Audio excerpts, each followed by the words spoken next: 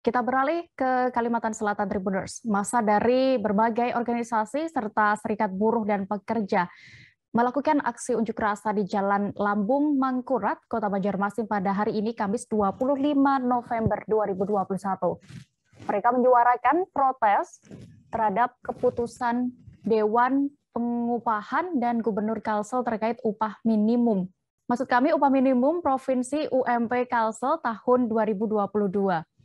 Untuk mengetahui lebih detailnya sudah bergabung bersama kami rekan Ahmad Maudodi, jurnalis Banjarmasin Post yang akan menyampaikan laporan. Halo rekan Maudodi. Baik rekan Dea. Iya, bisa Anda informasikan apa saja tadi tuntutan masa buruh dalam aksi unjuk rasa? Baik, dapat kami kabarkan di, di Jalan Lambung Makurat Kota Banjarmasin ini uh, uh, buruh di Kalimantan Selatan yang tergabung di tiga organisasi dan serikat buruh uh, menggelar aksi unjuk rasa sekitar pukul 10 WITA.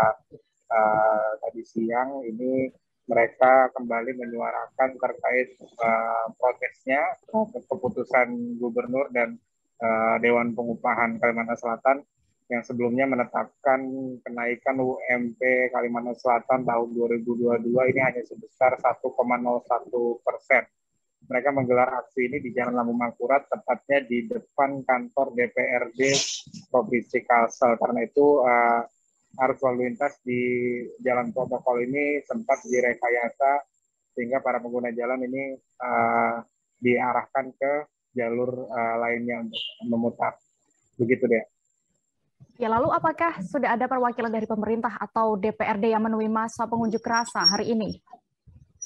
Baik, masa pengunjuk rasa uh, tadi sempat ditemui oleh Kepala Dinas uh, Tenaga Kerja dan Transmigrasi Provinsi Kalsel, Bapak Suspansa, dan juga Sekretaris Komisi 4 DPRD Provinsi Kalsel, Bapak Firman Yusi. Namun uh, mereka ini uh, menolak uh, hanya ditemui oleh dua orang tersebut. Pasalnya mereka Uh, meminta dan bersikeras untuk uh, bertemu langsung dengan Gubernur Kalsel Haji Sabiri Nur untuk menyampaikan uh, protes mereka serta meminta Gubernur untuk mencabut SK penetapan kenaikan UMP Kalsel 2022 ini hanya 1,01 persen.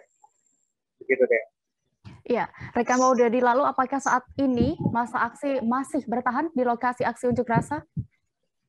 Baik, dari pantauan kami tadi uh, hingga kurang lebih pukul 16 uh, WITA. Ini uh, masih ada sebagian masa aksi yang bertahan meskipun mayoritas tadi sudah uh, meninggalkan lokasi uh, karena dalam tadi sempat para perwakilan uh, masa ini mengikuti audiensi dengan uh, pejabat provinsi dan anggota DPRD ini mereka dijanjikan uh, untuk dijadwalkan bertemu langsung dengan gubernur dalam satu dua hari uh, ke depan. Sehingga mayoritas dari uh, masa pengunjuk rasa juga ditambah dengan uh, hasil keputusan MK mereka banyak yang uh, sudah meninggalkan lokasi. Namun mereka uh, tetap uh, bersikeras uh, agar gubernur Kalsel ini memiliki memanfaatkan uh, kewenangan otonomi daerahnya untuk uh, bisa meningkatkan UMP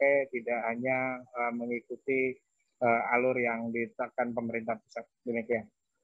Ya, baik. Tribuners, rekan Maudodi juga sudah sempat melakukan wawancara bersama Ketua Federasi Serikat Buruh Metal Indonesia Kalsel, ada Yuyun Indarto. Berikut kami tampilkan keterangan lengkapnya.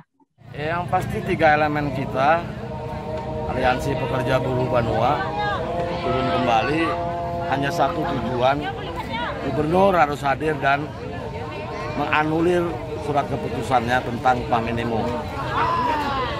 Bahwa itu sudah kita teriakkan dua minggu atau tiga minggu yang lalu, ya tolonglah didengar. Karena apa? Jangan Dewan Pengupahan Provinsi dan bahkan gubernur sendiri jadi stempelnya pusat. Gitu.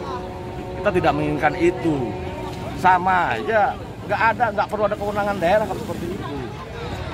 Nah buat apa juga buruh dinaikkan di Kalimantan Selatan hanya 1,01 persen. Buat apa? Ya kami tantang balik aja sudah nggak usah naik. Dengan catatan harga-harga barang khususnya sembako tidak naik. Berani nggak? Tantangan kami kaum buruh diterima oleh pemerintah ini. Terima kasih sudah nonton. Jangan lupa like, subscribe, dan share ya.